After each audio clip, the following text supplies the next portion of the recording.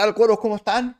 Nuevo video para hablar de San Lorenzo. No saben lo que me cuesta grabar últimamente con la garganta. No sé qué tengo, no lo puedo identificar, pero seguimos. San Lorencismo va, San Lorencismo sigue. De hecho, hoy vamos a hacer un vivo a las 19 horas, así que los espero como siempre. Vamos a hablar en este video del peligro para San Lorenzo. La puta madre que lo remil, ya saben qué cosa. No lo puedo creer cómo nos durmieron. Y lo digo de antemano, ¿eh? Lo digo hoy, miércoles 2 de octubre, a 3, 4 días de que San Lorenzo juegue contra Instituto, Instituto el sábado a las 8 de la noche. De verdad que nos durmieron. Después no quiero escuchar llantos y decir que nos durmieron, que bla, bla, bla. Digo, de los lugares más que nada eh, oficiales, porque ya en la previa te están durmiendo. En la previa te están poniendo un árbitro que no, no debería dirigir la primera división, pero no, no deberían ni asomarse. Y encima a un grande del fútbol argentino. Bueno, te voy a estar comentando por qué duermen a San Lorenzo. Vamos a hablar de eh, la continuidad de Romania en el ciclón. Vamos a hablar de algunas cositas que nos quedaron de ayer, que fue un informe bastante completo. Te invito a que lo veas, pero me quedaron algunas cositas pendientes. Y vamos a hablar del el posible 11 de San Lorenzo para enfrentar a Instituto. Te pido, amigo, si te suscribís al canal en este video cortito para hablar de San Lorenzo, si le das un me gusta a este video que me ayuda mucho a seguir haciendo el contenido que hago. Suscribiéndote vas a participar por la camiseta que tengo puesta, no por esta porque es mía, sino la que está atrás que es igual, pero en talle, en talle L. Así que ya me dijeron los chicos de Luthier Sock que se puede ir estampada también. ¿eh? Es la del año pasado, pero para mí es de las más lindas que tuvo eh, San Lorenzo Almagro. Y te recomiendo OneXBet, que es la mejor casa de eventos deportivos. Tenés un bono de hasta 200 dólares con el código promocional que es San Lorencismo, que es el mejor código que vas a encontrar por el tiempo que está en el canal. Juegas San Lorenzo contra el Instituto, tenés después las eliminatorias, todo lo que quieras utilizar, utilizalo con el mejor código que es San Lorencismo. Te lo dejo en el comentario fijado. Vení un segundo, jugá con responsabilidad y siempre que seas mayor de 18 años, ¿sí? Me meto con este video, el 11, porque seguramente estoy seguro que te metiste para saber, che, ¿cómo forma San Lorenzo? Dale, anda al grano de una vez. Bueno, San Lorenzo contra Instituto iría con, por lo menos lo que va probando Romagnoli, porque después va haciendo ciertos ajustes, por así decirlo. De hecho, la semana pasada que Remedy estaba lesionado, que Remedy no jugaba, que Remedy se metía, que Remedy no se metía, bueno, hay un solo cambio obligado que es el de Romania. Sí, lamentablemente, el muchacho que defendió con su vida, el gladiador que defendió con su vida a Iker Muñain, parece que soy un, parece que, soy un poeta, pero no, la verdad es que para valorar un montón el gesto de Romania, lástima que se quedó sin partido contra Instituto y lo necesitamos como el agua, por amor de Dios, la que terminó salvando. Yo de verdad creo que si Romania no salvaba a la que salvó sobre el final del partido, yo no sé si hoy estábamos hablando de un técnico nuevo en San Lorenzo porque hay algunos dirigentes que, bueno, sienten que lo de Romagnoli era un ciclo cumplido, así que a seguir ganando para, eh, bueno, que San Lorenzo lo necesita y segundo para ver si podemos asomar en este torneo tan comprimido de equipos alguna Copa Libertadores. Así lo siente el plantel puertas adentro y bueno, también lo declaró Irala hace, hace algunas semanas que el apoyo de los jugadores estaba, pero bueno, había que ver el apoyo por parte dirigencial, que entiendo que de un cierto sector no existe, de otro sector sí. Por ejemplo, Bernuncio en la previa del partido del otro día salió a bancarlo al Pipi Romagnoli. Pero San Lorenzo iría con el Chila Gómez en el arco, de 4 iría Luján, Herrera, eh, ojo con Herrera porque en realidad juega más de 6 que de 2, así que a esta hora sería el que reemplazaría a Romania. Espero que lo haga bien. Si no, puede subir algún pie de inferiores para jugar de 4 porque Arias no se terminó de recuperar.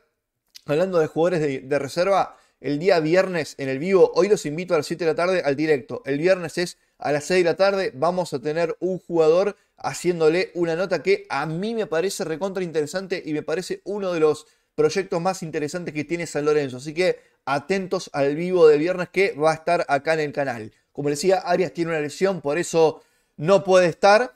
Eh, de 6 Campi, que para mí cuando vuelva el Tonga Hernández, Campi no va a ser historia cantada. Eh, eso quería corregir, que a, corregir no, quiero agregar que a Campi se le termina el contrato justamente en diciembre, en diciembre de este año. Así que hay que renovarle el contrato. Veremos si se puede o no.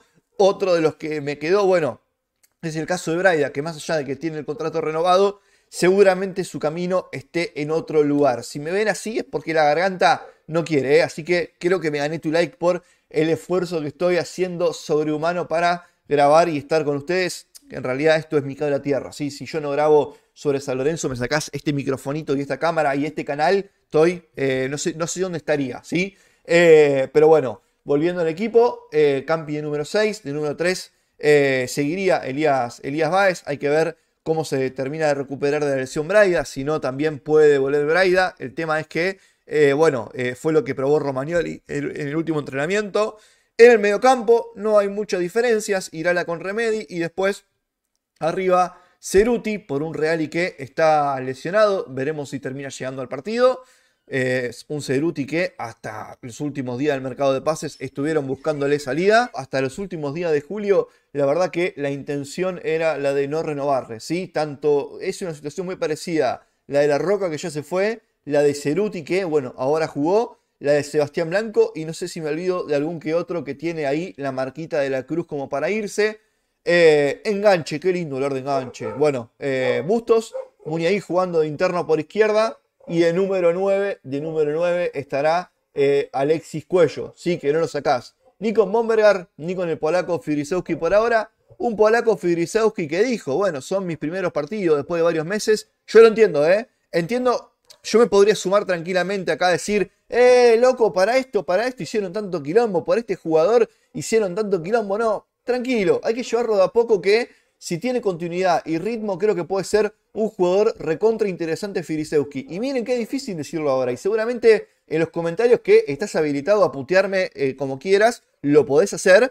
Eh, yo lo, lo, banco, ¿eh? O sea, banco, no sé si la llegada de Firisewski porque no sé la interna cuánto tiene para perderse a Lorenzo. Entiendo que mucho porque por algo no lo contrataban de otros lugares. Ahora, paso a lo futbolístico y no lo voy a criticar por estos partidos que ha tenido justamente eh, o por menos los minutos que, eh, ha, que ha tenido. Pero bueno, dicho esto, eh, esto será el 11 de San Lorenzo, Bomber el banco de suplentes.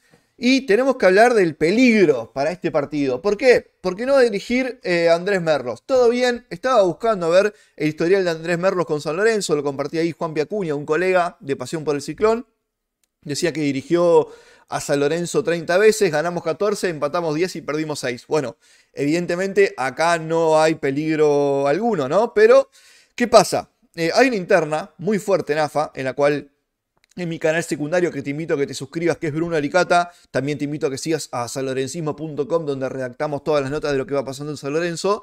Eh, ¿Qué pasa? Hay una interna tan fuerte que Merlos no debería estar dirigiendo, pero a ningún equipo de la primera división, ni aunque no se merezca estar en la primera división, porque lo que pasó con Fasi fue un bochorno más grande que una casa. Se me entiende a dónde apunto, ¿no? Pero bueno, eh, fue el designado para dirigir San Lorenzo contra, contra Instituto y atentos porque primero, es muy cercano, es muy cercano eh, el árbitro a lo que es la AFA lo cual es el primer peligro que tiene este San Lorenzo. Es muy cercano también, eh, es muy cercano también, claro, a la AFA. Bueno, obviamente que está dentro del cuerpo de árbitros, pero me refiero a la dirigencia de instituto, ¿sí? comandada por Cavagliato y a todo lo que representa instituto está bastante ligado. Así que el partido que se viene hay que tener cuidado con el arbitraje porque nos pueden bombear tranquilamente desde las divididas, desde donde te puedan cagar hay que tener cuidado. En el bar va a estar Darío Franklin, que la verdad no tengo muchas referencias de él. Pero bueno, Andrés Merlo será el árbitro y no me gusta absolutamente nada y por eso lo quería decir en este video. Dicho esto, atentos con la situación de Romania, ¿sí? porque están consultando por él cada vez más de manera informal, porque el mercado de pase todavía no abrió, así que hablar todavía de eso sería por lo menos un poquito imprudente, que muchas veces lo soy, lo reconozco.